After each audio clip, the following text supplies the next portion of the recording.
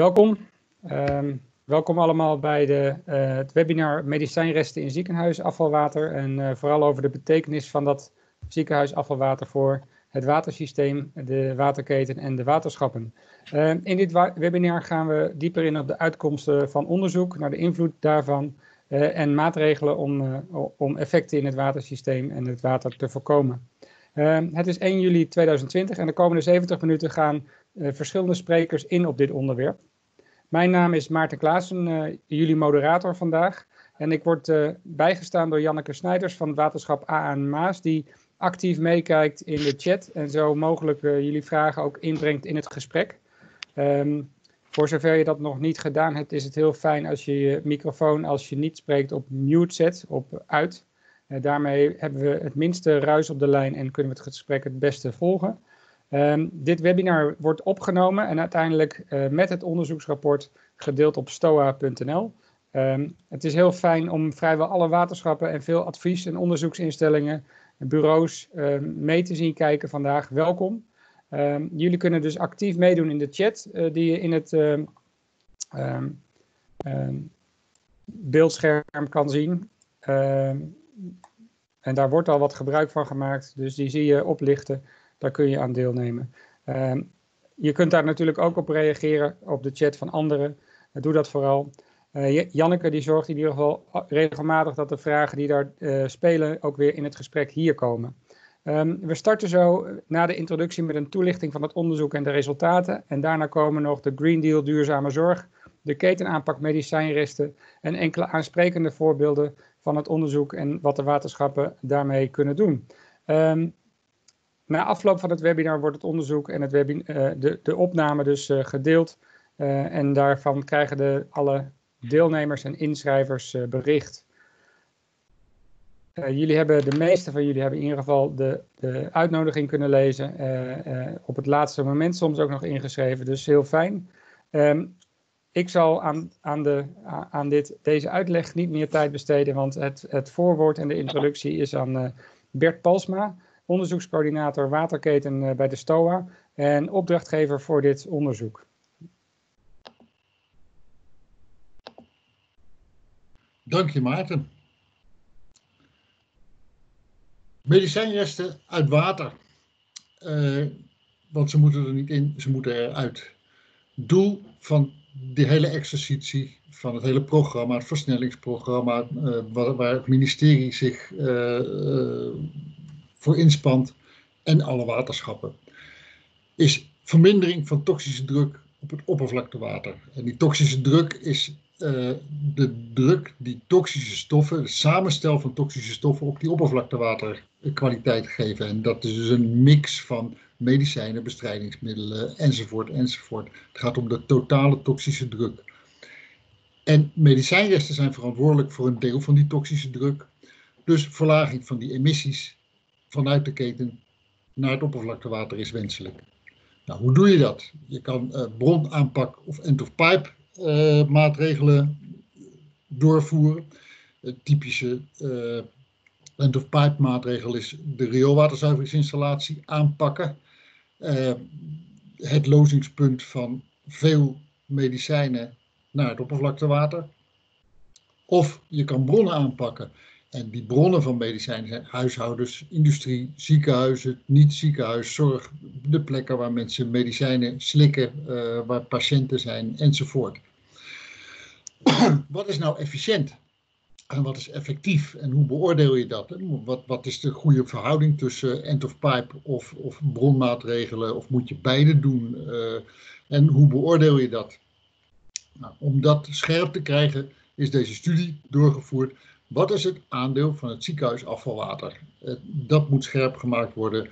Hoeveel van de verschillende stoffen wordt er via die ziekenhuisroute geloosd en komt er uh, al of niet via de RWZT in het oppervlaktewater terecht? Het waterschap heeft daarbij twee rollen. Een zuiverende rol, zuiveringsbeheer, RWZT, en oppervlaktewaterkwaliteit. En dat zijn, die liggen in elkaars verlengde, maar het zijn wel twee verschillende brillen en twee manieren van kijken. Nou, om er toch nog iets van actualiteit in te gooien, uh, want dit had eigenlijk, uh, hadden we dit, dit, dit hele seminar ergens in maart gepland, uh, maar toen zaten we net, was net de lockdown begonnen, dus het ging allemaal niet door. Wil ik toch iets zeggen over COVID, COVID-19 en antibioticaresistentie en misschien nog wat andere enge dingen. Het is niet de focus van de studie geweest, niet de focus van het rapport, maar uh, nou, gezien de actualiteit is het toch goed om daar een, een enkel sheetje aan te wijden. Antibioticaresistentie, uh, onlangs weer een, een uh, nieuw, uh, nieuwe tranche van onderzoek bij het RIVM gestart, maar eerder hebben wij, heeft STOA samen met RIVM op een aantal plaatsen gekeken in, bij waterschappen, in oppervlaktewater enzovoort. en de resultaten zijn, zijn vrij helder uh, overstort en foutaansluitingen. Uh, en de RWZI leveren ongeveer een even grote bijdrage aan die antibioticaresistentie in oppervlaktewater. Foutaansluitingen staat nog een klein vraagteken achter, maar overstorten zeker even belangrijk als de ehm, Ziekenhuizen is niet heel specifiek naar gekeken, maar er zitten, omdat ziekenhuizen laatste redmiddelmedicijnen uh, hebben en daar wat mensen, meer mensen liggen met echte enge ziektes, uh, zijn ziekenhuizen mogelijk een bron van specifiekere resistenties. Nou, om het dan helemaal actueel te maken, uh, corona, COVID-19. We zitten samen met KWR, KWR is trekker hiervan, maar ook samen met RIVM zijn een groot aantal waterschappen en de STOA betrokken bij uh, een surveillance onderzoek. Dus het surveillance, hoe kunnen we op een vroegtijdig tijdstip uh, herkennen dat er in, in een populatie corona, COVID-19 uh, op gaat treden. En dat kan je in afvalwater eerder zien dan dat de dokter het weet, zo ongeveer. Prima eerste thermometer. het, zit ook in het nationale dashboard. Tweede punt bij dat onderzoek, bij het corona-onderzoek, is we vinden alleen RNA in afvalwater. Alleen resten van het virus, geen actieve virussen. En toch gaan we kijken naar onderzoek naar overleving van dat COVID-virus, van dat coronavirus. Uh, better safe than sorry. Zit daar echt toch niks in afvalwater, wat misschien via de snelle route van een overstort uh, wel uh, besmettelijk zou kunnen zijn. Nou, dat, dat, alles wijst erop dat dat niet het geval is. En toch gaan we daar nog een keer extra naar kijken. Communicatie is heel belangrijk. We, hebben voor de waterschappen een, uh, onder beheer van Imke Lene een MS Teams site ingericht met alle vragen, antwoorden voor zover we ze kunnen geven uh, en, en uh, communicatie over lopend onderzoek en uh, waterschappers voor zover je daar nog niet in meekijkt en meedoet, meld je aan. Voor de niet-waterschappers ligt dat allemaal een stukje ingewikkelder. Ga ik het nu niet over hebben. Afvalwater is vies en dat klinkt als een vreselijk open deur. Maar als je af en toe beelden ziet van blije uh, kanoers uh, of surfers van water op straat gevallen uh, en plekken waar je toch eigenlijk niet zou moeten willen zwemmen. afvalwater is vies en dat is niet alleen vanwege COVID-19, dat is ook vanwege de ziekte van Weil, vanwege ehm, gewoon griep, nor norovirus, ver verzins maar. Afvalwater zitten pathogenen in. Medicijnresten en pathogenen. RBCT is van groot belang daarbij zeker bij pathogenen niet de enige route. Bij medicijnresten ligt dat zwaartepunt juist wel bij de RWCT. Maar als je naar pathogenen gaat kijken, schuift dat meer naar uh, overstorten, foutaansluitingen enzovoort. Overstorten beperken, afkoppelen van hemelwater, is dus een logische maatregel. Maar pas op voor touwtrekken tussen riolerings-, zuiverings- en waterkwaliteitsbeheerders. Want dat klinkt leuk, afkoppelen, beperkt de overstort. De zuiveraar zal gelijk zeggen: nee, dan hou die overstort maar gelijk, dan heb ik minder uh, water op de zuivering. Maar dan verander je niets aan de overstortfrequentie. Uh, het is een touwtrekspel, een samenspel tussen rioleurs, zuiveraars en waterkwaliteitsbeheer. En een maatregel leidt nooit zomaar tot uh, de effecten. Je moet daar echt afstemmen. Foutaansluitingen ik kan het niet vaak genoeg benadrukken. Ze bestaan officieel niet. Uh, Rionet heeft hier ook eigenlijk, ja, nu, nu begint het een beetje te komen, maar het, bestaat niet. Het zit, in de berekeningen wordt het niet doorgevoerd. Uh, maar ze kunnen lokaal een grote rol spelen. Uh, we zijn nog midden in een onderzoek naar antibiotica-resistentie vanwege die foutaansluitingen. Juist bij nieuwbouw, met slechte bouwinspecties, kan dit boze tongen beweren oplopen tot 25% van het afvalwater. Nou, dan hoef je bijna niet meer te zuiveren, zo ongeveer. Die kennis van de lokale situatie is cruciaal. Ga samen met rioleurs, waterkwaliteitsmensen en zuiveringsbeheerders uh, op stap en neem kennis van die lokale situatie. Want alleen dan kun je juiste maatregelen afkondigen. En alleen dan is de informatie die wij uh, landelijk proberen te verzamelen op een goede manier lokaal inzetbaar. Dat was hem, Maarten. Dankjewel, Bert. Uh, namens uh, STOA. STOA is de instantie uh, die toegepast onderzoek, wateronderzoek doet namens alle waterschappen. Um, wat wil je vandaag bereiken met dit webinar? Een fundament, een basis voor juiste keuzes van individuele waterschappen, van individuele waterbeheerders. De, wij hebben een vrij clean, technisch, beta, beta-analyse gemaakt van wat zit er nou in, in ziekenhuisafvalwater en in hoeverre, hoeveel procent of hoeveel kilo's is dat nou voor totaal wat je bij de zuivering voor je kiezen krijgt. Ja. En daar kunnen lokale waterbeheerders andere keuzes in maken. Hè. Wij gaan niet de, de ambities of de, de beleidskeuzes van de waterschappen voorschrijven. Dat kunnen we ook helemaal niet.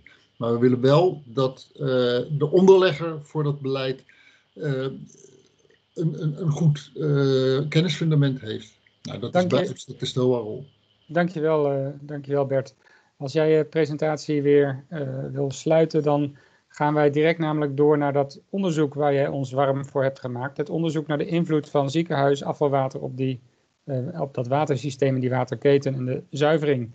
Um, dat wordt gedaan door de trekker van dat onderzoek, Mark Vissers. Uh, hij is senior adviseur en onderzoeker waterkwaliteit bij Sweco. Uh, en heeft hier lange tijd en diepgrondig naar gekeken en naar gezocht, samen met een, een heel team. Maar hij heeft nu de nobele taak om dat uitgebreide onderzoek voor jullie in, in ongeveer een kwartier te presenteren. Dus het zij hem vergeven als hij daarin zo af en toe wat zaken moet overslaan. De belofte aan jullie is, Jullie krijgen allemaal dat onderzoek waar je het nog een keertje grondig kan nalezen. Mark, neem jij hem over? Ja, ik, weet niet of jullie me al zagen, maar dan zien jullie me nu waarschijnlijk in beeld verschijnen. Um, ik zal mijn scherm meteen gaan delen. De presentatie. En dan moeten we nog de presentatie starten. Zo. Um, ja, ik heb, ik heb net nog even snel de namen toegevoegd. Ik heb het uh, onderzoek uh, uitgevoerd uh, met Stefan Witteveen, die is waterkwaliteitsspecialist. Heeft TWOR-berekeningen gedaan, dus eigenlijk de berekening van wat er in oppervlaktewater gebeurt bij een overstorting. Christa Morgenswijs voor de zuiveringstechnieken, Rintje Stokje, riolist.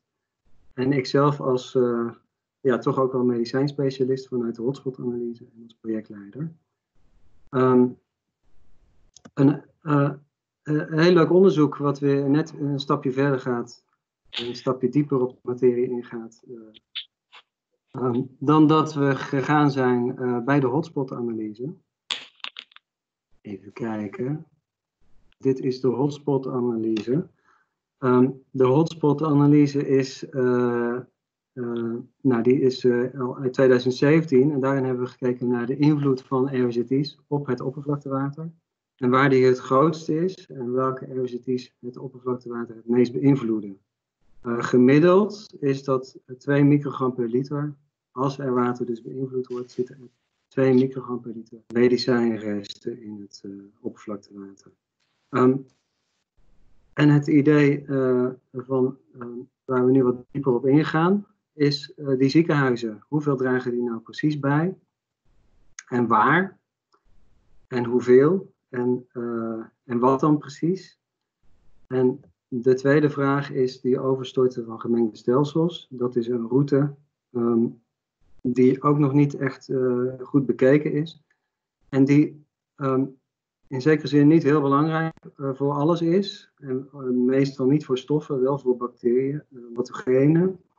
Ehm, maar dat zou voor ziekenhuizen misschien wel eens anders kunnen zijn, omdat er veel meer medicijnen zitten.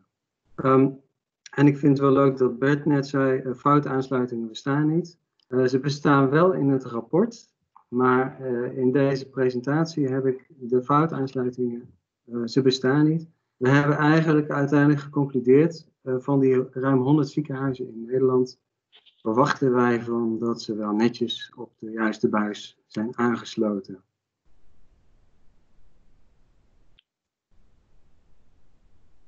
Wat zit er nou precies in het ziekenhuisafvalwater? Was de eerste vraag. Um, nou, hier zie je de emissie per bed ten opzichte van de emissie per inwoner type geneesmiddel. En ja, daar valt eigenlijk het meest op de antibiotica, factor 304. Dus uh, eigenlijk meestal detectielimieten in huishoudelijk afvalwater en uh, forse concentraties in ziekenhuisafvalwater. Uh, contrastmiddelen ook significant meer. En de meeste medicijnen zitten er wel wat meer in. Vier, vijf keer zoveel. En dat zal ook waarschijnlijk wel met die, uh, de patiëntenpopulatie te maken hebben, die wat ziek, zwakker en misselijker is. Uh, en deels ook omdat er meerdere personen per bed in het ziekenhuis zitten. er zitten natuurlijk ook de verpleging en de doktoren, de polyklinische behandeling dus het, zijn, het is meer dan alleen de bedden. Um, ja, wat neem je dan als getal als je. Uh, uh, hoeveel meer medicijnen zitten er dan in uh, het ziekenhuisafvalwater? Um, nou, daar hebben wij factor 10 aangehouden. En dat hebben we gedaan door te zeggen, we nemen alle medicijnen, antibiotica, alle gewone medicijnen, maar de eh, conform ook de methodiek van de hotspot-analyse en, en, heel veel andere studies, kijken we even niet naar paracetamol en kijken we niet naar röntgencontrastmiddelen en kijken we ook niet naar metformine. Uh, dat zijn forse vrachten, uh, maar niet even relevante uh, stoffen, omdat ze vaak heel goed afbreken, dan wel dat ze biologisch niet zo actief zijn. Um, maar is wel iets om even rekening mee te houden. Uh, en hier zie je ook antibiotica, die doen wel heel erg mee in ziekenhuisafvalwater. Terwijl ze dus, dus een heel duidelijk verschil met normaal huishoudelijk afvalwater.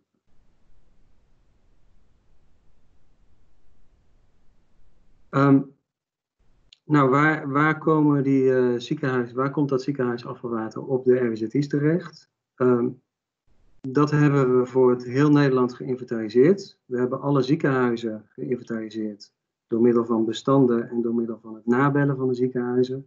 Hoeveel bedden hebben jullie? Um, en alle RWZT's, daar hadden we nog vrij, uh, vrij goede gegevens van vanaf vanuit de landelijke hotspot-analyse. Um, dus zo hebben we van. Uh, en alle ziekenhuizen hebben we vervolgens gekoppeld aan uh, de RWZT's. En die koppeling hebben we ook bij de waterschappen uitgezet van hebben wij het goed zo? Daar zijn nog flink wat correcties op gekomen. Uh, en zo hebben we nu echt een soort officiële kaart van uh, hoeveel zieken, welke ziekenhuizen waarop lozen.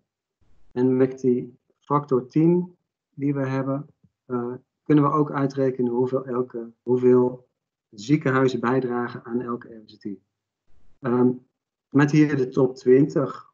Um, ehm, Heugem, Gronsveld staat op 1.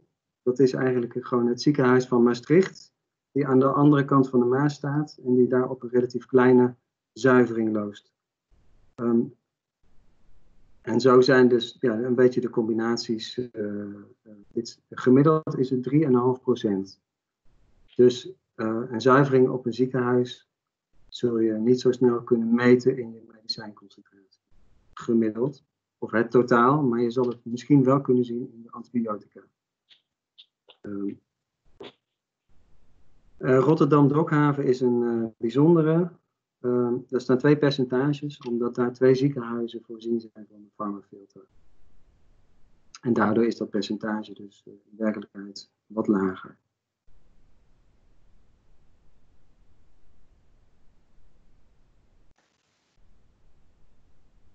Goed, dat was dus de eerste vraag. De tweede vraag is die, die route die nog niet eerder onderzocht was. Ehm, die overstorten via gemengde stelsels. En daar hebben we gerekend met een gemiddelde overstort. Een gemiddelde overstort uh, van Nederland.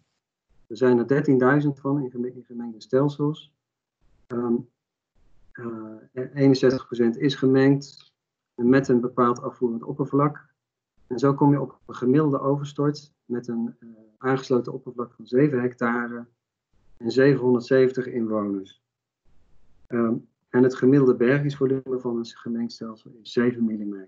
Dus dat zijn eigenlijk de, de, basis, uh, is de basis die we hebben aangenomen.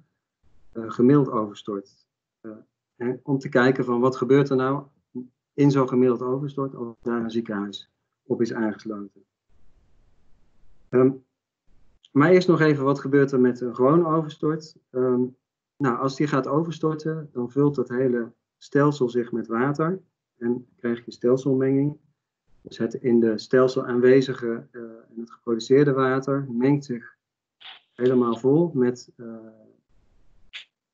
met het regenwater. En op het moment dat het gaat overstorten, um, stort een deel van het water wat in het stelsel zit over.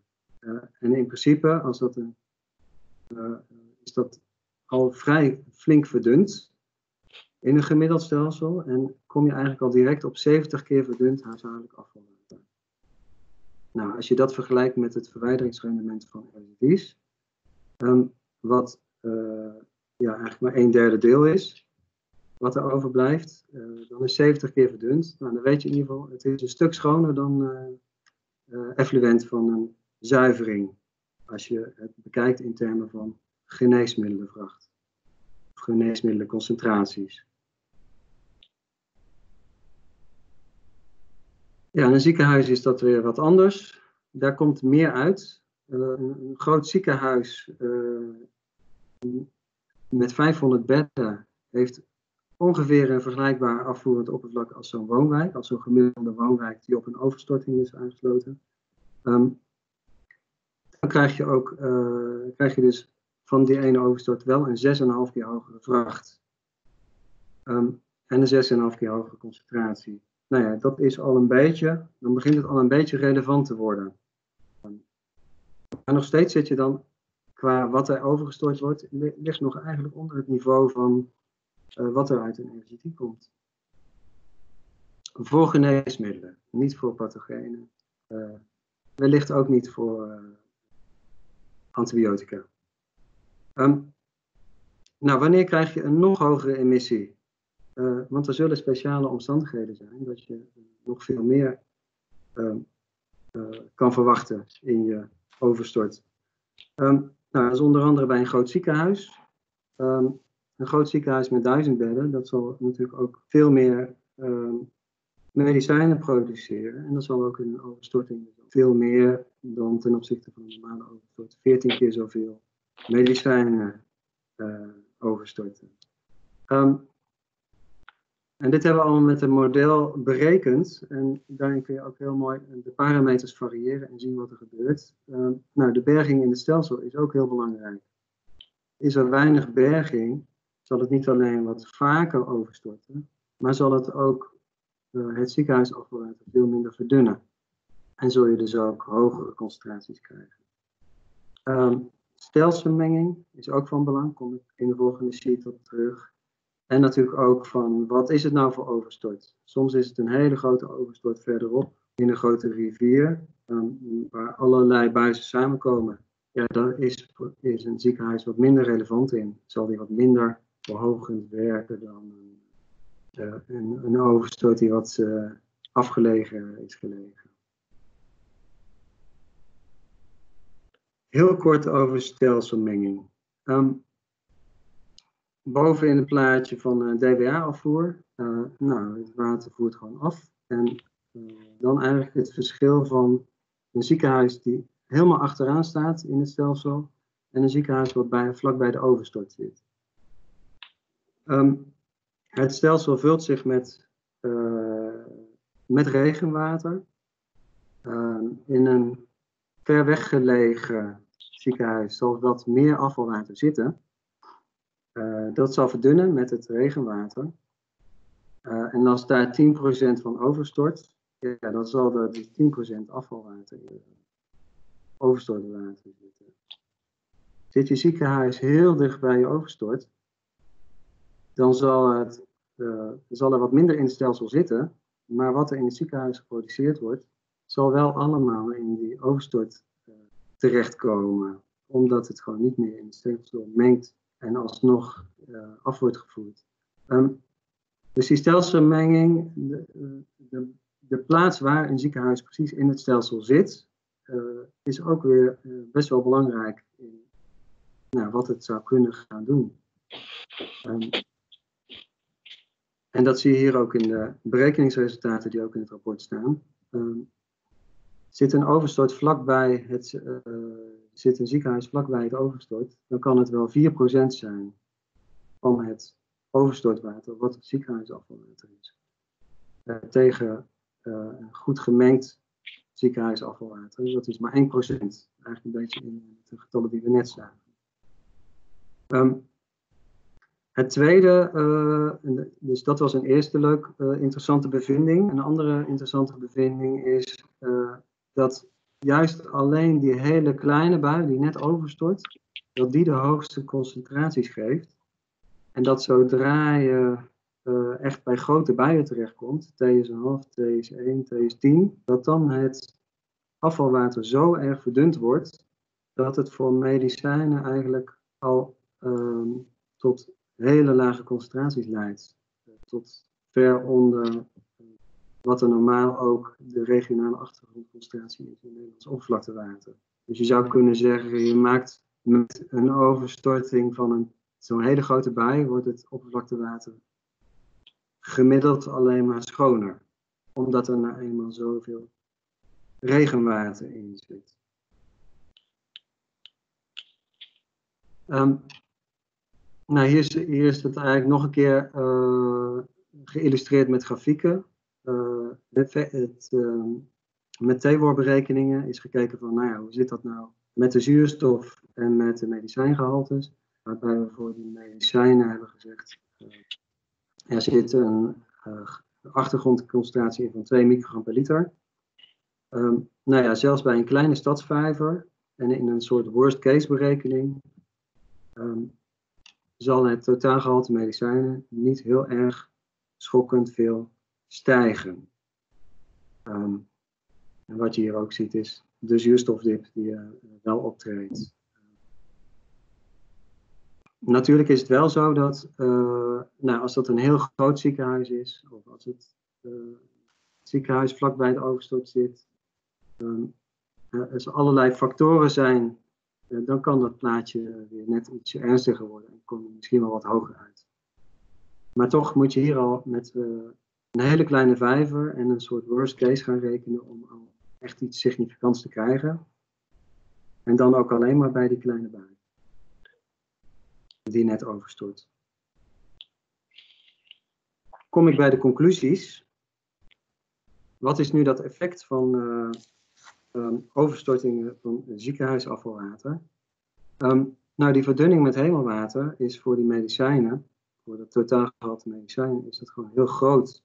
Um, de normale verwijdering van EOSD's, die is met factor 3 tot 4 beperkt. En die stelselmenging bij een overstorting, die is meestal wel minimaal factor 20. Dus um, voor je geneesmiddelenconcentraties um, ja, is dat betrekkelijk, is dat allemaal uh, ja, relatief. De invloed van het ziekenhuisafvalwater op het oppervlaktewater is het grootst bij buien die net overstorten. Dus die hele grote buien, daar wordt het water uh, qua medicijnresten alleen maar schoner van. Niet per se met pathogenen dus. Um, en overstortingen op watervolumes groter dan 5000 kub, of systemen die, die doorspoelen daarop kun je ook uh, zeggen dat er eigenlijk geen situatie te bedenken is waarin je van een hele, van een flinke invloed van overstortingen van ziekenhuisafvalwater zou kunnen verwachten. Um, nou ja, daar had ik de gevolgtrekking van, ja, dat, dat misschien die locatie van het ontvangende water en, en, wat daar gebeurt, of daar mensen recreëren of spelen, ehm, dat dat misschien wel een belangrijke factor zou kunnen zijn dan of daar een ziekenhuis ligt of niet. Maar ja, dan ook meteen weer dus, pas op, want uh, er kunnen bepaalde stoffen zijn in ziekenhuisafvalwater die we niet zo goed in beeld hebben nog en waarvan we de risico's nog niet hebben uh, beoordeeld. Zoals die anti, uh, antibiotica concentraties die relatief heel hoog zijn.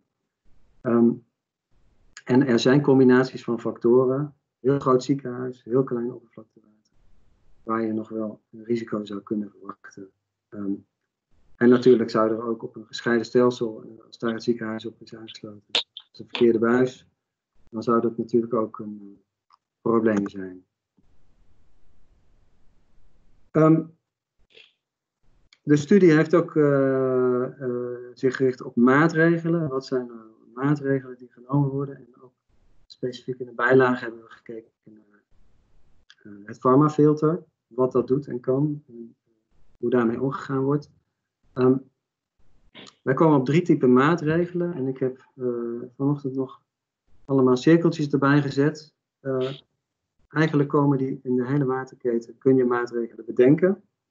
Um, extra zuivering bij het ziekenhuis of juist bij de RCT. Ehm, maatregelen in het rioolsysteem of in het watersysteem van het stedelijk watersysteem. Uh, daar kun je ook heel veel dingen bedenken die effect hebben op die route van overstorten. Um, en uh, bronmaatregelen. En bronmaatregelen kun je dus niet alleen maar zeggen, zet een zuivering op het ziekenhuis, maar kunnen ook zijn um, gescheiden afvalstromen binnen het ziekenhuis van specifieke stoffen, zoals die röntgencontrastmiddelen, waszakken, um, het voorschrijfgedrag. Uh, dus ja, ook daar kun je de hele waterketen aanpakken. Dankjewel, Mark. Super. En uh, er is vast nog heel veel meer over te vertellen en dat, dat gaan we ook doen. Ik ben uh, nog even zijn... gemute, uh, Maarten. Ik ben nog gemute. Ben ik nog gemute? Um, nee, hoor, we, we, kunnen je horen, Maarten. We kunnen Prima, je horen. heel fijn. Um, er is heel veel nog meer over te vertellen, Mark. Um, en dat gaan de volgende sprekers ook doen en daar komen we zo ook op, door, op verder. Uh, er zijn in de, in de chat ook nog een aantal vragen voor jou gesteld ter verduidelijking. Uh, Janneke, springt daar eentje uit uh, die, die we nu goed kunnen voorleggen? Ja, er zijn een aantal wat meer technische vragen gesteld. ik denk dat het handig is dat, ehm, nou ja, dat je of die apart beantwoordt of naar aanleiding van het rapport nog een keer. Ja. Um, maar misschien interessant even nog over wel een soort basisvraag, maar die wel ingaat eigenlijk of door het op het hele rapport. Is de vraag over waar die getallen vandaan komen. Of dat kentallen zijn en dus een beperkt set geneesmiddelen. Um, of alle geneesmiddelen die gebruikt worden en dat je daar de gebruikshoeveelheden van bepaald hebt. Dat maakt natuurlijk voor je modelleren wel uit. Misschien kun je daar kort even op ingaan. Ja, um, uh, kentallen, nou, ja, de kentallen voor riolering, daar hebben we echt geprobeerd om, om die uit allerlei rapporten van Rionet, et cetera, en STOA te betrekken. kentallen voor medicijnen, um, daar hebben we echt heel duidelijk de landelijke hotspotanalyse als uitgangspunt voor genomen. en het stoffenpakket wat daaruit komt en de totaalconcentratie die daaruit komt. En daaraan hebben we de metingen van die er beschikbaar zijn van ziekenhuizen. En die zijn helaas al tien jaar oud. Um, maar die metingen hebben we daartegen aangezet om te kijken van wat zijn nu die verschillen en hoeveel keer meer is, dat, is die totaalconcentratie. Dankjewel. Uh, ik zou zeggen, uh, lees je ook nog even uit in de beantwoording op de chat, want dat, uh, dat zal misschien ook de dynamiek uh, doen, toenemen daar. Wij gaan door en komen zo nog terug in het vragengesprek naar elkaar. Eh, de Green Deal Duurzame Zorg is namelijk een, een samenwerking waar ook een aantal van de uh, rode puntjes waar Mark mee eindigde uh, impact gaan hebben. Het is een uitgebreide samenwerking waar Jeroen Postma als senior beleidsmedewerker duurzame zorg van het ministerie van Volksgezondheid, Welzijn en Sport en lid van het programmateam van, de, van die Green Deal, een toelichting op gaan geven. Jeroen. Dankjewel uh, Maarten. Um, ben ik te horen voor jou? Luid en duidelijk. Helemaal goed. Dan uh, ga ik mijn scherm delen. Even kijken.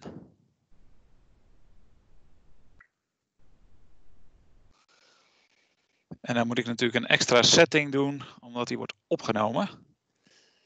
Even kijken.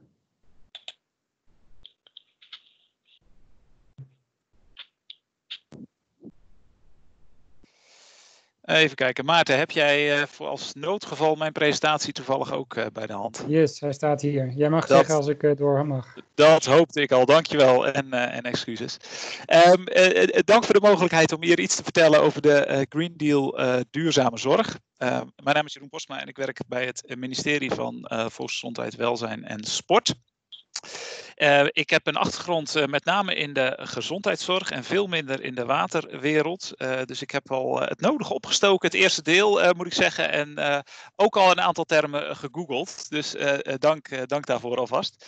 Maarten, zou je naar de tweede slide willen? Ja, dankjewel. Even heel kort iets in algemene zin over de Green Deal en hoe dit raakt aan um, uh, waar we het vandaag over hebben.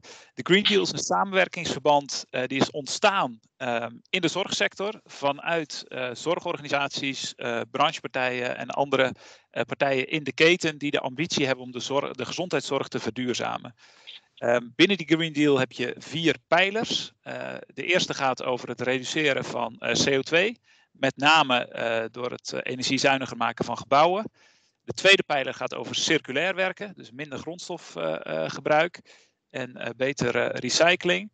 Pijler 3 gaat over het terugdringen van medicijnresten in het water. En de vierde pijler gaat over het investeren in een gezondheidsbevorderende omgeving. Dus vanuit het idee dat op het moment dat we aan duurzaamheid werken ehm, in de gezondheidszorg, dat als je ruimte maakt voor bijvoorbeeld meer groen, uh, schonere lucht, dat dat niet alleen goed is voor het klimaat, maar ook voor onze uh, gezondheid. Nou, en aan elk van die vier pijlers uh, hangen allerlei projecten. En ik wilde eigenlijk vanmiddag kort iets vertellen over een van de projecten um, binnen die derde pijler, minder medicijnresten. Ja, en uh, ik wilde ook even schaamteloos uh, reclame maken. Mochten jullie nou geïnteresseerd zijn in duurzaamheid in de zorg, er is een digitaal congres Green Deal, waar onder andere vanuit die derde pijler ook een aantal projecten voorbij komen. Um, dus alles, alles te vinden op onze website. Tot zover de zendtijd Green Deal. Dan.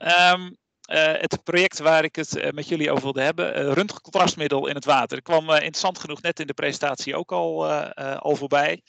er komt jaarlijks ongeveer 30 ton röntgencontrastmiddel in het oppervlaktewater terecht. Um, doordat mensen een CT-scan hebben, röntgencontrastmiddel toegediend krijgen en dat vervolgens weer uitplassen. Um, die middelen zijn nou, persistent, worden niet verwijderd in de afvalwaterzuivering. Nou, dat is het probleem, dat zal jullie bekend zijn. Mag naar de volgende slide. Ja. En een van de oplossingen um, die eerder in uh, onder andere het ziekenhuis in Deventer en ook al in Duitsland uh, zijn onderzocht, is nou, een oplossing aan de bron. Namelijk patiënten na een CT-scan plaszakken meegeven om de urine met het contrastmiddel af te vangen. Uh, we weten dat in de eerste 48 uur ongeveer 80% van het röntgencontrastmiddel het lichaam uh, verlaat. Dus op het moment dat uh, patiënten die plaszakken gebruiken, vang je daarmee ook 80% van, het, van, die, van die 30 ton zou, je, zou je af kunnen, kunnen vangen. Nou, vanuit die pilots in Deventer en Duitsland weten we dat, dit, dat dit werkt.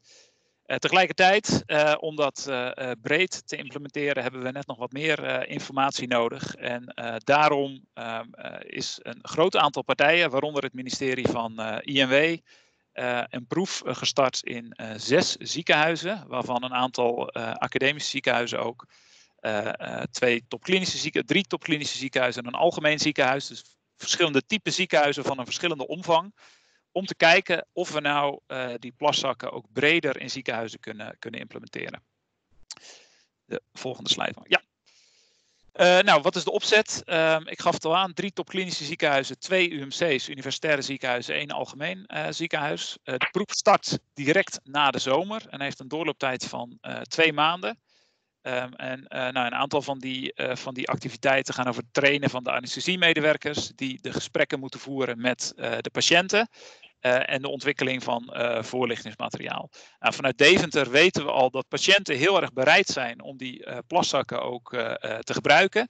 Die zijn ook zo ontwikkeld en worden nog doorontwikkeld dat dat ook best wel goed kan. Je kunt je daar allerlei voorstellingen van maken over of dat wel of niet comfortabel is. Maar er zijn allerlei innovaties geweest in die zakken waardoor het te doen is. En patiënten snappen dit heel goed. En het leuke is, willen ook heel graag bijdragen aan uh, ja, eigenlijk het reduceren van de schade op het milieu van uh, de medicijnen die ze ontvangen hebben. Dus dat was een van de interessante uitkomsten um, uit de proef in Deventer al, dat patiënten eigenlijk heel graag willen. Um, eigenlijk een, een, een belangrijk. Um, uh, voorwaarde of succesfactor zou je kunnen zeggen, is dat het ook ingebed moet zijn in uh, de de werkpraktijken in de ziekenhuizen.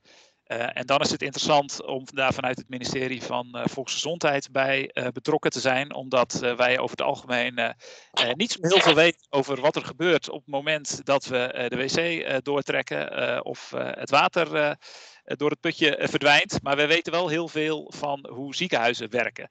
En juist als je het hebt over de wenselijkheid om aan de bron allerlei dingen te doen, uh, is, het, is het gewoon heel erg interessant om met het ministerie van, van INW, maar ook met nou ja, partijen vanuit de waterwereld samen te werken om dit, dit ketenprobleem aan te pakken. Super. Dat de opzet. Um, heb je nog één laatste slide? Ja, we starten dus direct na de zomer. En we meten op een aantal onderdelen. We meten niet op de uitkomst, dus op de hoeveelheid röntgencontrastmiddel in het water, omdat we vanuit eerdere studies al weten dat het effectief uh, is. Dus dat hoeven we in die zin hier niet te herhalen. Waar we vooral naar willen kijken is, goh, in Deventer wilde de patiënt het heel graag, maar geldt dat ook voor de andere ziekenhuizen? wat vinden patiënten er nu eigenlijk van? Um, we willen ook kijken naar hoe, kijk, hoe kijkt het zorgpersoneel hiernaar? Is het voor hen, voelt het als een extra last of is het vrij eenvoudig um, eh, ook te verwerken in eh, de, de, werkroutines. Um, nou, communicatie eh, is, een, is een belangrijk onderdeel. En natuurlijk de kosten. Want dat is een, ja, in de gezondheidszorg natuurlijk altijd een interessante. Deze plaszakken voegen, als je heel kort door de bocht zegt, niet zoveel toe aan de kwaliteit van zorg of aan de veiligheid van zorg. En zijn voor duurzaamheid, vanuit een duurzaamheidsoogpunt natuurlijk wel heel erg interessant. Nou, de bekostiging van dat soort duurzaamheidsinterventies is best nog wel een, een ingewikkelde. Dus wat deze pilot in ieder geval op moet leveren is inzicht in wat zijn nu die extra kosten. Niet alleen het gebruik van de plaszak, maar ook de tijd van de professionals. En op welke manier kunnen we daar bij voorkeur ook binnen het zorgsysteem een structurele bekostigingsoplossing voor bedenken. Hartstikke goed. Dank dat was even de sneltreinvaart, Maarten, de, de pilot. Ja, de pilot in, in, in het kader van een veel grotere Green Deal. Daar horen we waarschijnlijk dadelijk nog meer over, maar heel aansprekend. Um, wij gaan direct door naar de ketenaanpak uh, medicijnresten. Um, die uh, toegelicht wordt door Michael Benvelsen, uh, beleidsmedewerker waterkwaliteit en internationaal bij de Unie van Waterschappen. En daar trekker van het thema medicijnresten en ook lid van de begeleidingscommissie van dit onderzoek. Michael, neem jij ons mee? Ja, uh, goedemiddag uh, en allemaal. En uh, Maarten, bedankt dat ik ook iets mag vertellen. Um, ik heb twee sheets slechts, die ga ik nu met jullie delen.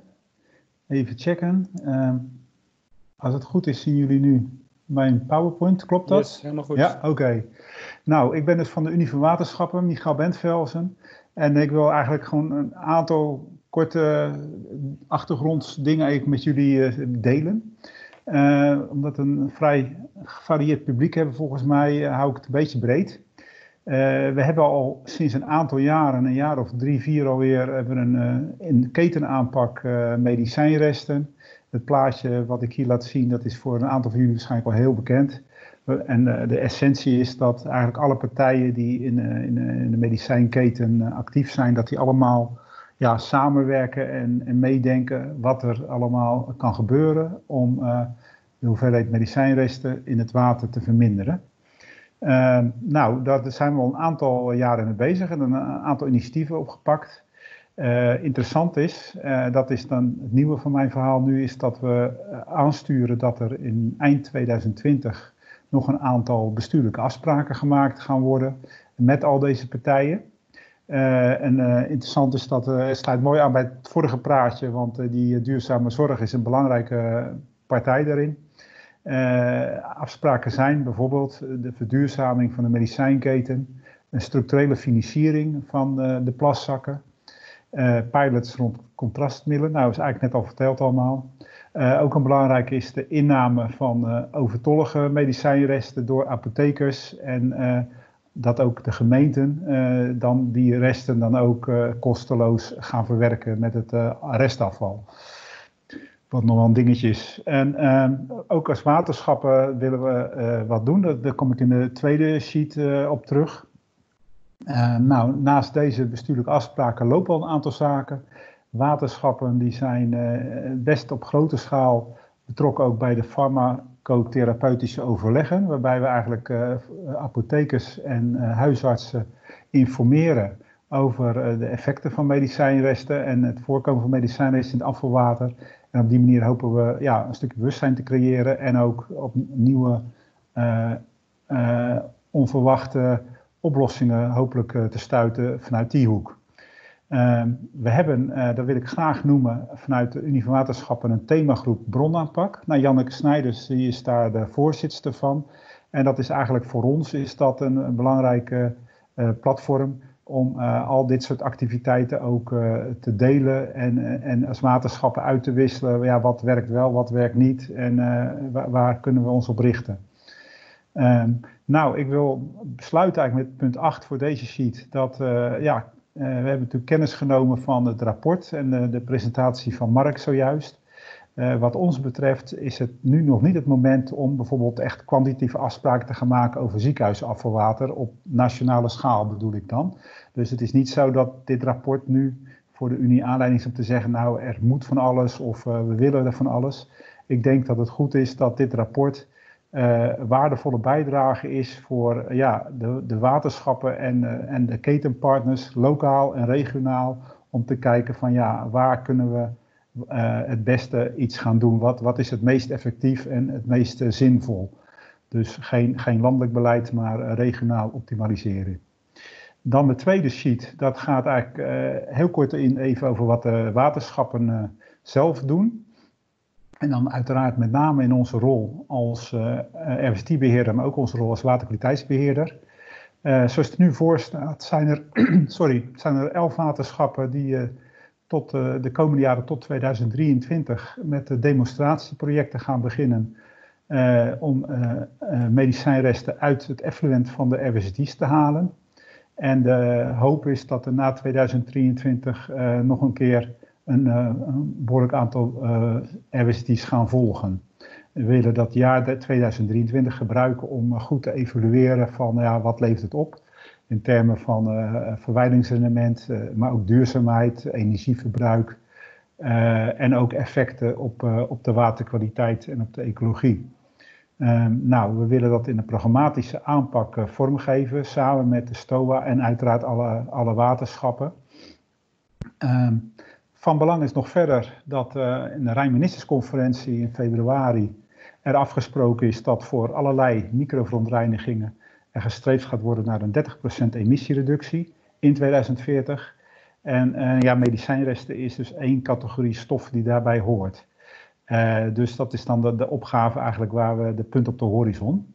Uh, en dan wat mij betreft uh, zijn eigenlijk alle maatregelen, ook in de hele keten, al, al die maatregelen in de keten, die, die kunnen hier natuurlijk bij, uh, bij optellen. nou, verder nog, denk ik, twee puntjes. in 2000, vanaf 2020 gaat de Europese richtlijn stedelijk afvalwater herzien worden. En mogelijk, waarschijnlijk zelfs, wil de Europese Commissie dan ook wat, wat eisen of criteria of regelgeving stellen aan microverontreiniging, het effluent van RWZT's. En dat kan ook voor dit onderwerp natuurlijk uh, van belang zijn. En uh, daarbij is het, wat de Wijs Unie betreft, uh, wij denken dat het goed is om voor dit soort problemen, waar ja, we nog heel erg in de fase zitten van ontdekken van wat er speelt en hoe het speelt en wat de mogelijke oplossingen zijn. Dat in deze fase een, een regionale aanpak waarbij waterschappen lokaal samenwerken en lokaal kijken wat is de beste aanpak, dat dat het belangrijkste is en, en nog geen landelijke dwingende regels. Heel goed. Nou, dat was eigenlijk uh, wat ik even kwijt wilde. Ja. Dankjewel. Mooi inkijkje in, in, de, de grote beleidslijn en, en, en de ontwikkelingen binnen de ketenaanpak medicijnresten. Dankjewel, Michael. We komen zo, ik zie in de chat uh, het, uh, de interactie flink op gang komen, waar ook geantwoord wordt.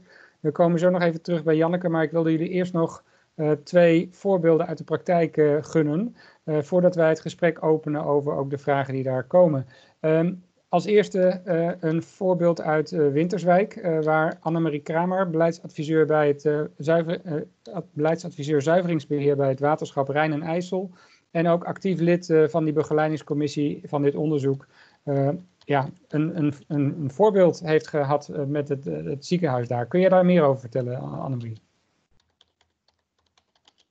Hi, goedemiddag allemaal. Dat wil ik heel graag. Ik ga proberen mijn sheets te delen.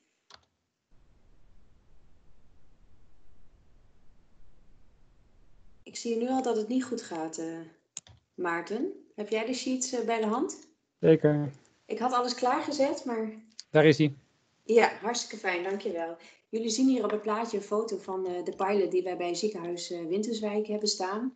Um, en uh, wij zijn gestart met deze pilot, um, want wat we hier doen is ja, het slim verwijderen van medicijnresten uit afvalwater. Onze reden daarvoor is bij aanvang van de ketenaanpak, is, vonden wij als waterschap het heel belangrijk dat er aandacht was voor de bron. Aandacht blijft ook voor de bronaanpak. Uh, maar ook dat we met nieuwe maatregelen komen die toegepast kunnen worden.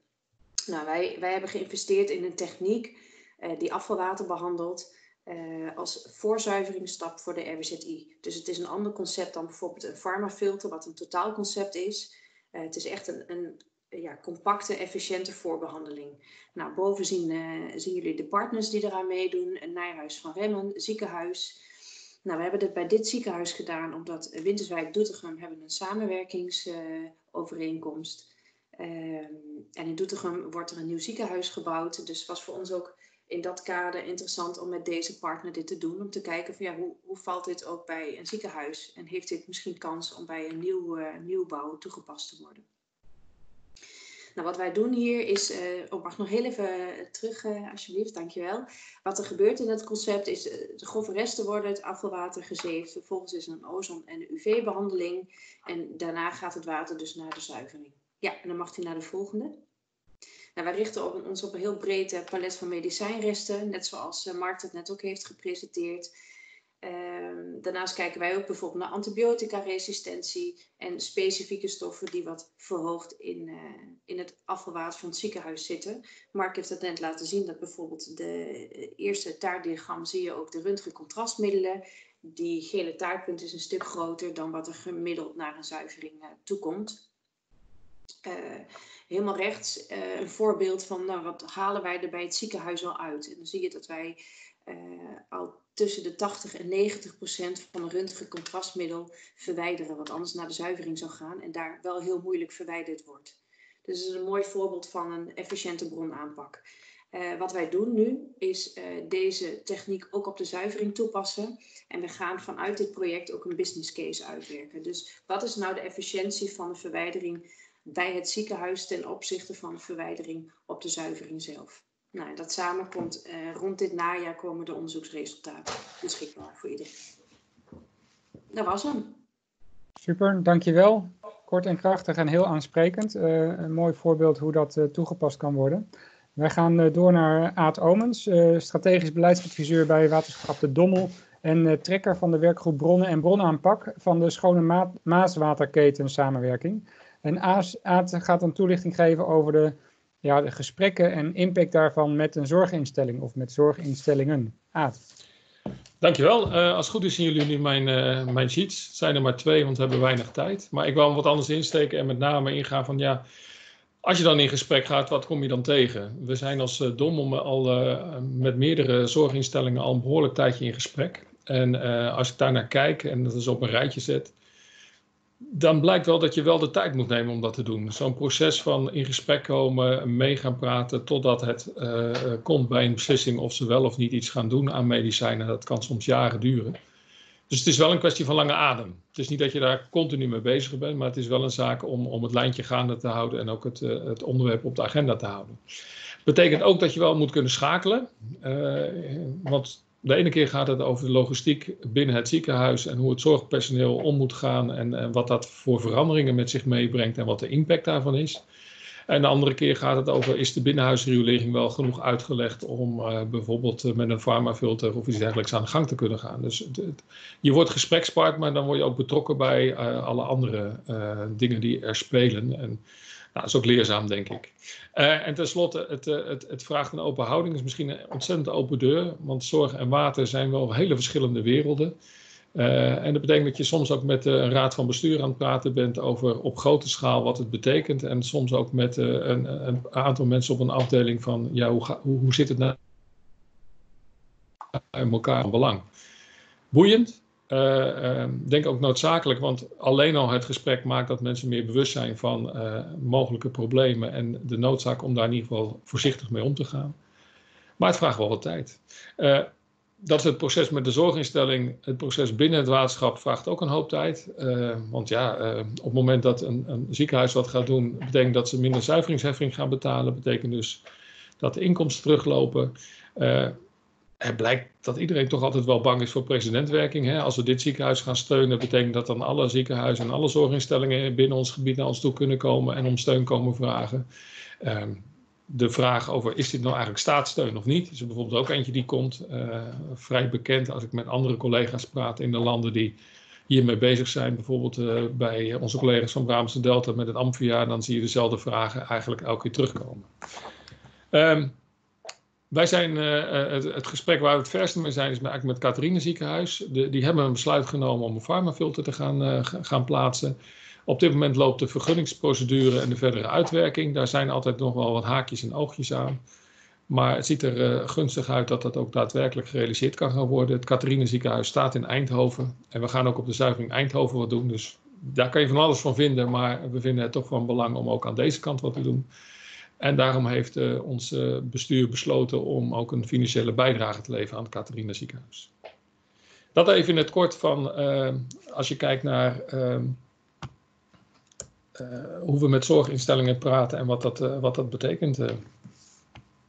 Super, dankjewel. Dat ja? is dus een, een, kwestie van lange adem en, en veel, veel schakelen. Ja. Um, ik ben benieuwd, uh, Janneke, naar nog uh, uh, highlights uit de chat of zaken die aan de sprekers voorgelegd moeten worden. Als jij daar wat in hebt, kom vooral op de lijn, zou ik zeggen. En anders wil ik graag openen met een vraag aan Bert. jij opende hier met een, met een doelstelling. en eigenlijk blijkt uit de verschillende gesprekken er is eigenlijk maar een relatief klein, deel, een klein aandeel van de vraag medicijnresten op de RWZT afkomstig van die uh, ziekenhuis, uh, ziekenhuisstroom. Waarom is er dan toch zo'n heel onderzoek opgetuigd? Nou, A, om dat uh, scherp neer te zetten. Want de daar blijven in, in de hotspot-analyse en in eerdere rapporten waren er ook al wat schattingen van gemaakt, maar die vragen blijven komen. Dus een soort perceptie van ja, maar ziekenhuizen zijn hier toch belangrijk mee. In Tegelijkertijd weet iedereen vanuit zijn eigen praktijk ook dat je uh, zelden of nooit in het ziekenhuis ligt als je ziek bent. Uh, dat ben je meestal thuis. En je plast en je poept de medicijnen dus ook thuis uit. Dus gewoon een, een, een basis, en daar zijn best wat mitsen en maar. De, de, in de chat gingen ook wat vragen heen en weer van ja, moet je nou metformine wel of niet meenemen? Dat, dus over te delibereren, maar ik denk dat de, die, die top 10 uh, of de top 20 duidelijk laat zien dat het een klein aandeel is en dat je uh, vrij snel uh, richting dat gemiddelde gaat. Het is goed om die harde getallen netjes op een rijtje te zetten. Uh, maar vervolgens, alsjeblieft, iedere waterbeheerder maakt daar je eigen keuzes in. Je hebt je eigen ambities en die staan niet in het rapport en die maakt de STOA niet. Je hebt je eigen lokale dynamiek. Een ziekenhuis die een farmafilter wil, wil dat niet alleen vanuit waterkwaliteit, maar ook vanuit logistiek binnen het ziekenhuis die, die lokale dynamiek, die ambities, die, die, het, het, demonstreren van een techniek zoals in Winterswijk, alsjeblieft ga je gang. Uh, uh, ga je gang. Dat, dat zijn er zijn meer redenen om in beweging te komen dan alleen maar die harde getallen. Maar die harde getallen, alsjeblieft, laten we die wel als basis gebruiken om, om verder te komen. Ja, mooi. Ik hoorde uh, tijdens de presentatie van Jeroen dat hij zat te googlen naar allerlei termen uit, uit de watersector. Ik, ik kan me voorstellen dat het voor de watersector ook googelen is naar een aantal termen in de duurzame zorg. Ehm, kun jij nog iets, want het is volgens mij een heel omvangrijk netwerk met, uh, uh, ja, met, met potentieel veel betekenis. Kun jij Jeroen nog iets uitleggen over de werkwijze en het netwerk wat in deze Green Deal samenkomt? Ja, dat, uh, dat kan. Uh, dat is wel een hele brede vraag, ook omdat die Green Deal zo, uh, zo breed is. Daarom liet ik ook even de vier pijlers zien, um, helemaal aan het begin van nou, je, je kan hem, Ik kan hem je makkelijker maken door te vragen van dat waterschap in, in dat hele netwerk. Hè? Want het hele netwerk kunnen we misschien wel heel, helemaal in verdwalen. Maar die waterschappen zijn misschien slechts ontvanger van dat afvalwater en zuiveren tegen betaling. Dus prima, dat is, dat is de deal. Uh, maar hoe kijk jij in dat netwerk van de Green Deal aan tegen de rol van de waterschappen en in de opgave om te komen tot een duurzame zorg? Ja, dat is inderdaad en voor mij ook beter uh, te beantwoorden vraag. Dankjewel, uh, Maarten. Um, ja, ik, ik hoorde pas geleden iemand zeggen uh, die, dat hij zich, als het gaat om röntgencontrastmiddelen, ervan bewust was geworden um, hoeveel um, watervervuiling ziekenhuizen eigenlijk veroorzaken via de patiënt. Hoeveel ze lozen. Uh, en dat is natuurlijk een iets andere manier van kijken dan, dan ziekenhuizen normaal uh, gewend zijn. Want je bent toch bezig met het behandelen van uh, patiënten en zo goed mogelijke zorg. En gelukkig. Maar die bewustwording van het effect dat zorgverlening heeft op het milieu. Ik denk dat daar nog heel veel in te winnen is. En dat geldt uh, uh, op het gebied van de, van de medicijnresten. Dat geldt zeker ook op, uh, op de andere pijlers, als het gaat om CO2-uitstoot bijvoorbeeld. Maar heel specifiek, ik denk die verbinding tussen de waterwereld en ziekenhuizen is heel interessant. Als ik het even breder neer vanuit de ziekenhuizenkant. Om inzicht te krijgen in wat die, wat die footprint eigenlijk is. En uh, heel veel uh, zorginstellingen, merk ik, uh, weten dat gewoon niet. Dus dat is al een eerste stap, de bewustwording. Helder. En, en, en daarna volgen wellicht andere stappen naar activiteit of betrokkenheid. Ja. We hoorden ook een paar keer vandaag, en dat is dan een vraag voor Michael, over de bronaanpak. En, en end-of-pipe bronaanpak, of juist iets daartussenin. Uh, Mark uh, Vissers uh, noemde eigenlijk, eigenlijk in de hele keten kunnen we daar dan naar wat doen. Is die bronaanpak bij ziekenhuizen nou niet iets, iets bestuurlijks zo van kijk ons even goed bezig zijn? Of, en levert het echt wat op? Of, of is het meer een, levert het, kan het de, de waterschap ook echt iets opleveren in besparing van, van zuiveringskosten of een betere waterkwaliteit? Hoe kijk je daar tegenaan? Nou, dat vind ik een moeilijke vraag. Hè? Als je het heel nauw bekijkt op de resultaten van dit rapport uh, en je neemt die percentages uh, medicijnresten uh, mee, dan is dat misschien relatief klein. Maar um, wat er, er zijn nog andere, andere dingen ook natuurlijk die ook al genoemd zijn vandaag, antibiotica en andere afwegingen. Dus vandaar, ik, ik probeer me een beetje op de vlakte te houden bij het antwoorden van deze vraag, Maarten. Ik, uh, ik denk dat het goed is dat in de regio inderdaad uh, wetten halen, dat men daar hier naar kijkt en, uh, ja. en kijkt wat is er mogelijk. we zijn voorzichtig om nu te snel en te definitief hier conclusies te trekken. Ja. Ik ben een beetje voorzichtig. Snap ik, snap ik. Mark, jij steekt je hand op, ga je gang. Jij ja, wil ja. graag op reageren. Ik, ik denk toch even aansluiten.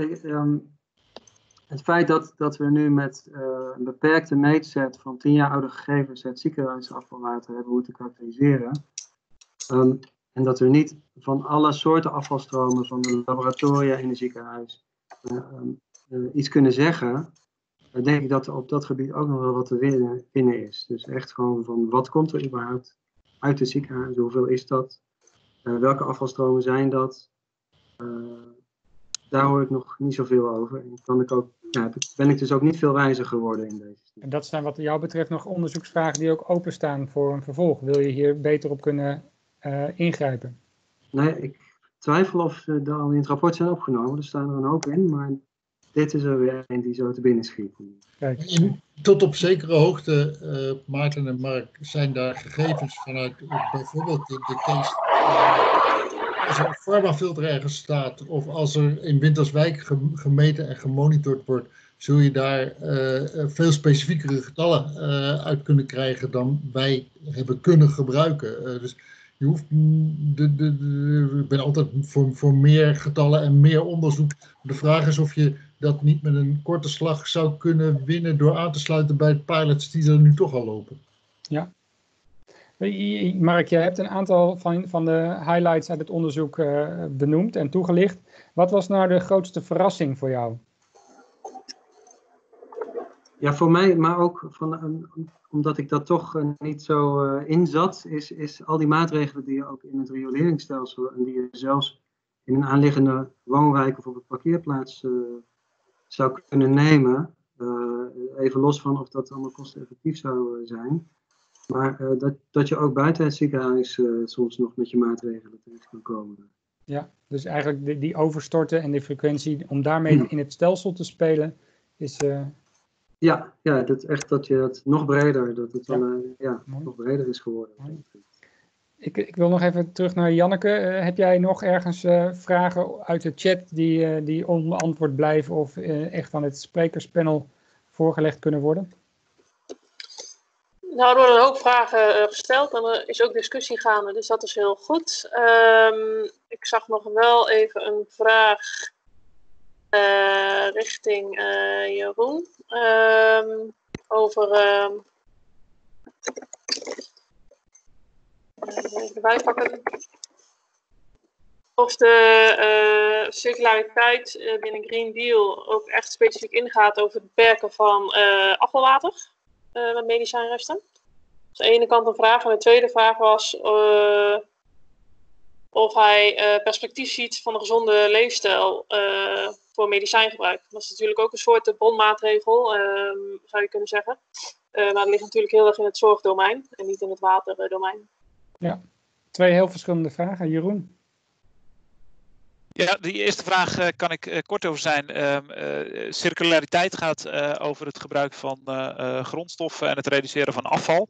Is, is niet specifiek gericht op, op water. Dus alles rondom eh, eh, waterkwaliteit en medicijnresten zit in die, zit in die derde pijler. Ja, leefstijl, eh, dat is een heel interessant punt. Ehm, eh, het is ook een, soms een ingewikkelde eh, discussie. Ehm, eh, nog zo'n zo'n soortgelijke discussie is verspilling, eh, het tegengaan van verspilling van, eh, van medicatie. Ja, dat zijn zaken die vinden we belangrijk. Eh, we als samenleving, eh, zeg ik maar even. Eh, maar het is heel moeilijk om te sturen vanuit zeg maar, de waterkant en waterkwaliteit op minder gebruik van medicijnen. Dus eigenlijk eh, moet je die, of tenminste, wij merken dat het het beste is om die discussie anders aan te vliegen. Dus vanuit de gezondheid. Vanuit de gezondheid weten we hoe minder medicijnen ja, je, je gebruikt, hoe beter het in principe is. In ieder geval niet noodzakelijke eh, medicijnen. En een mooi bijkomend effect is dat er ook minder medicijnresten in het milieu eh, terechtkomt. Dus wij merken dat in, zeker in de gezondheidszorg dat de discussie vanuit eh, kwaliteit van zorg, kwaliteit van leven aanvliegen. eh, dat dat het beste werkt. En dan is het, eh, oneerbiedig gezegd, hele mooie bijvangst. Dat er daardoor ook minder medicijnen in het eh, milieu terechtkomen. Jij noemde ook die mooie pilot hè, met plaszakken, die potentieel impactvol is, eh, is. Komen daar nog meer van dat soort, mogen we meer van dat soort pilots verwachten de komende periode? Ja, mis- misschien één concreet eh, eh, ander, eh, ander voorbeeld. We hebben vorig jaar opdracht gegeven voor een, een inzamelweek bij apothekers. Waarbij patiënten worden uitgenodigd om hun, patiënt, of hun medicijnen die over zijn, niet door het toilet te spoelen of in de vuilnisbak te gooien, maar terug te brengen naar de apotheek. Eh, eh, we- zijn nu bezig met eh, een vervolg daarop. Dit was in twee specifieke regio's. Om te kijken of we dat breder in Nederland kunnen doen.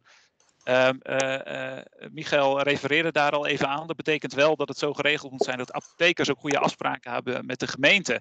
zodat de medicijnen daar opgehaald kunnen worden. Dus dat je als apotheker daar niet voor moet betalen. Maar ook hiervoor hebben we vanuit die pilot weer gezien dat patiënten dat heel graag willen. Want die voelen zich er eigenlijk heel rot over dat de medicijnen die over zijn, ook al zijn dat niet hele dure medicijnen, dat ze die weg moeten gooien. Dus die willen heel graag eh, eh, terugbrengen. Ze weten het alleen niet altijd. Dus aan de voorlichtingskant is daar nog veel te winnen. en het is nou ja, met name aan de overheid om te zorgen dat die gemeenten ook de achterkant bij apotheken goed, goed georganiseerd hebben. Maar dat is een ander heel concreet project waar we mee bezig zijn en, en wat er ook wel goed uitziet. Kijk, mooi. En Aad en Annemarie, jullie hebben beide een, een mooi aansprekend voorbeeld verteld. Zien jullie nou nog meer dat dat op meer plekken navolging krijgt? Dergelijk initiatief?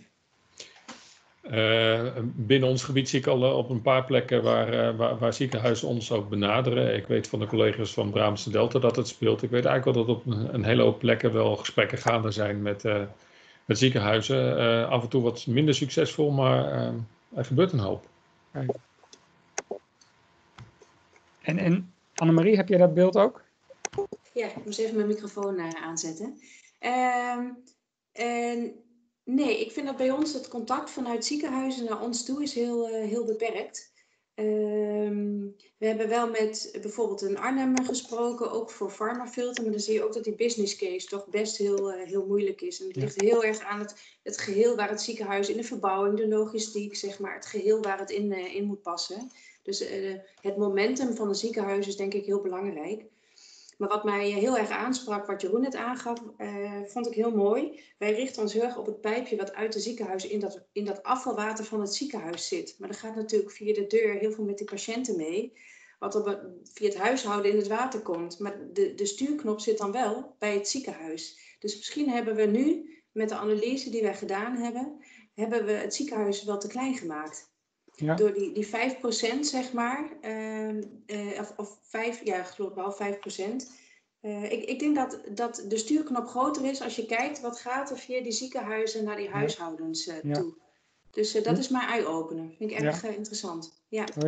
En misschien ook hè, voor alle sprekers, ja, hoe ziet nou het vervolg er wat jullie betreft uit? Hè? Je, je, je, ziet eigenlijk hè, de, actief of reactief richting de ziekenhuizen vanuit die waterschappen. Welke, welke keuze heb je daarin te maken? Wat opviel is die enorme vracht met antibiotica en het risico daarvan, de 300 keer hogere markt, als ik het goed heb. En dan nog het, het, financieel, de, de, business case die jij net aanstipte, Annemarie, van ja, hoe, hoe, is het, hoe en waar is het dan het beste te verwijderen? Hoe moeten we nou verder? Wie wil daar iets van zeggen of vinden? Is er huiswerk te doen?